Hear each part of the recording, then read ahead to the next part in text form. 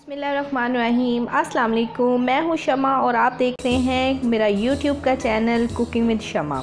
आज हम बना रहे हैं बहुत ही ज़बरदस्त, बहुत ही फ़ेमस बलोची चिकन कढ़ाई। ये बहुत ही कम इंग्रेडिएंट से बहुत ही ज़बरदस्त तैयार होती है। तो चलिए इस मज़ेदार और आसान सी बलोची चिकन कढ़ाई की रेसिपी को शुरू करते हैं। कढ़ाई गर्म हो चुकी है। इसके अंदर डालेंगे एक प्याली ऑयल इसके अंदर डालेंगे एक मीडियम साइज़ की पिसी हुई प्याज।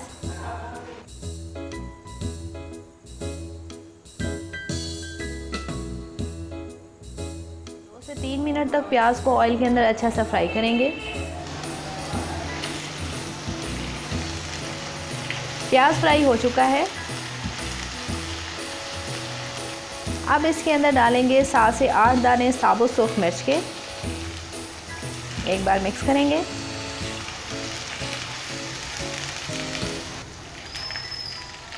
हमने लिया है एक किलो चिकन, जिसे धोकर हमने पहले से साफ़ कर लिया है। ये हम डालेंगे इसके अंदर।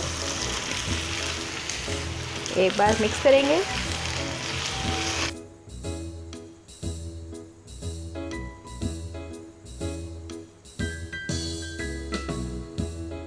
दो बड़े चम्मच ginger and garlic paste.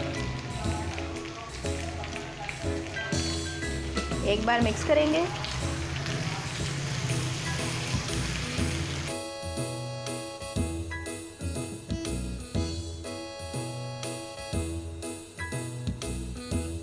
Flame को हमने लो टू मीडियम ही रखा है। लो टू मीडियम फ्लेम पर चिकन को अच्छी तरह तमाम चीज़ों के साथ फ्राई करेंगे। चिकन को लो फ्लेम पर पाँच मिनट तक अच्छा सा प्याज और जिंजर गार्लिक के साथ भून लिया है। और ये आप इसका टेक्सचर देख सकते हैं। अब इसके अंदर हम बाकी के इंग्रेडिएंट्स डालेंगे। वन टेबल स्पून नमक, वन टेबल स्पून काली मिर्च पाउडर वन टेबल स्पून सूखा धनिया पाउडर वन टेबल स्पून साबुत सूखा धनिया वन टेबल स्पून ज़ीरा one table spoon mango powder यानी आमचूर पाउडर वन टेबल स्पून अनारदाना आप चाहें तो अनारदाना को पीस के भी डाल सकते हैं। एक बार मिक्स करेंगे। अब इसके अंदर एक प्याली दही डालेंगे।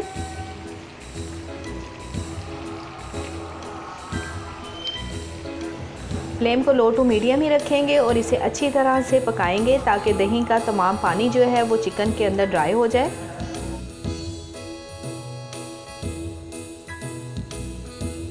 चिकन को कवर कर देंगे पाँच मिनट के लिए लो टू मीडियम फ्लेम पर ताकि चिकन जो है वो अच्छे से सॉफ्ट हो जाए। पाँच मिनट हो चुके हैं, ढक्कन को हटाते हैं। पाँच मिनट के बाद आप देख सकते हैं चिकन के ऊपर बहुत ही बेहतरीन ऑयल आ चुका है। चिकन की तमाम मसालों के अंदर बहुत अच्छे से भुनाई हो चुकी है। दही का पानी भी ड्राई हो गया है। तो बस ये हमारी बलोची चिकन कढ़ाई बिल्कुल रेडी है। आखिर में हम इसके अंदर डालेंगे थोड़ी सी बारीक कटी हुई हरी मिर्चें। थोड़े से पुदीने के पत्ते डालेंगे। थोड़ा सा बारीक कटा हुआ धनिया पत्ता डालेंगे। एक लेमन को स्लाइसेस में काट लिया ये भी इसके अंदर डालेंगे। एक बार मिक्स करेंगे।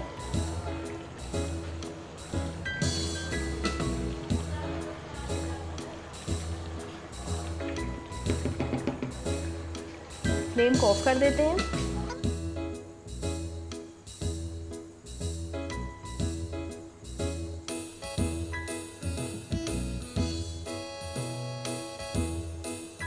बलोची चिकन कढ़ाई को हमने प्लेट में निकाल लिया, इसकी प्लेटिंग कर ली। आप देख सकते हैं कितनी मज़ेदार ये बलोची चिकन कढ़ाई बनकर तैयार हुई है।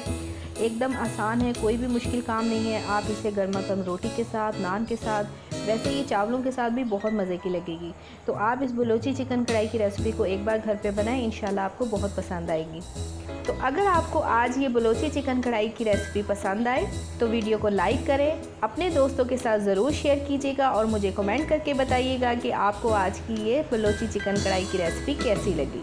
और साथ ही आपसे रिक्वेस्ट करूँ कि अगर आपने अभी तक हमारे चैनल को सब्सक्राइब नहीं किया तो जल्दी से हमारे चैनल को सब्सक्राइब कर लें।